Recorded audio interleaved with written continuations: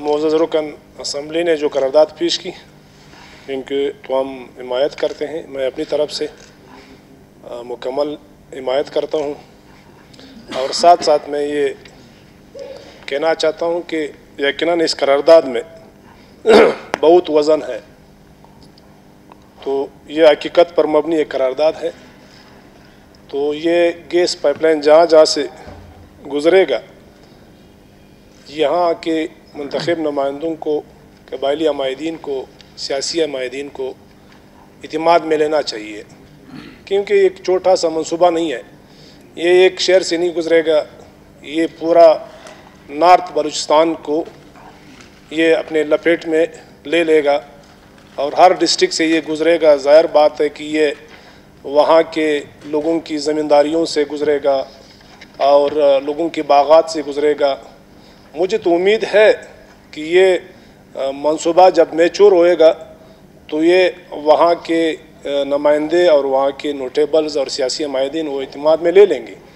لیکن وقت آنے سے پہلے تو یہ جس طرح قرارداد آ گیا، تو یہ یقیناً ابھی سے ان لوگوں کو بتانا چاہیے کہ وہ وہاں کے جو نمائندے ہیں قبائلی عمائدین ہے سیاسی عمائدین ہے ان کو اعتماد میں لیے بغیر وہاں پر کام شروع نہ کیا جائے۔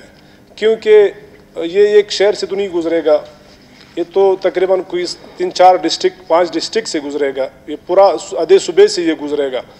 ویسے یہ بے انصافی بھی ہے کہ ہمارے گھروں کے سامنے سے یہ گیس پائپ لائن گزرے گا، لیکن ہمارے علاقے کی وہاں لوگ محروم ہوں۔ تو میرے خیال میں یہ سراسر زیادتی ہوگی اور ناانصافی ہوگی۔ ہونا تو نہیں چاہیے۔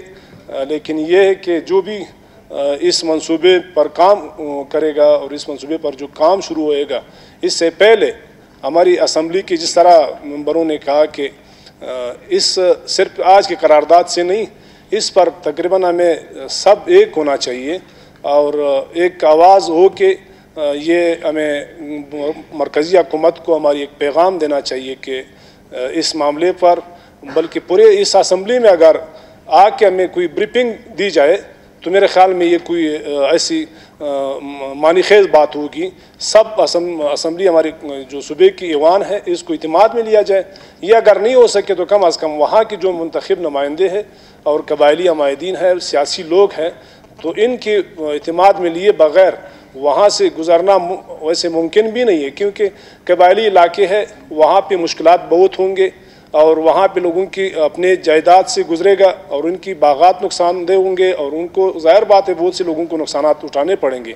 تو یہ قرارداد جو پاس پیش کیا ساتھی نے، میں تو اپنی طرف سے ان کی مکمل حمایت کرتا ہوں اور ساتھ ساتھ امید کرتا ہوں کہ جو بھی دوست ہے اس پہ بولنا چاہیے اور مزید بھی اس بات کو یہاں تک نہ چھوڑے، مزید بھی اس پہ جب بھی ہم اسمبلی میں مزید اگر جانا چاہیے ہمارے یہاں سے کوئی نمائندے ہو پاکی حکومت سے، ہماری سی ایم صاحب کو ہم سارے ایک ہو کے اس کو بتا دیں گے کہ ایک ڈیلیگیشن بنا کے مرکز کے پاس بھیجا جائے اور مرکزی حکومت سے بات کی جائے اور پیٹرولیم منسٹری سے بات کی جائے کہ وہ ہماری یہاں کی نارتھ بلوچستان، اس بلڈ کے ہمارے نمائندوں کی، ہماری قبائلی شخصیات کی، سیاسی پارٹیوں کی ایک گلہ ہے اور ایک شکوہ ہے۔ تو ایسے نہیں ہونا چاہیے، میرے خیال میں ایسے ہوگا بھی نہیں۔ تو اس پر میں اپنی ساتھی کی اس مکمل حمایت کا اعلان کروں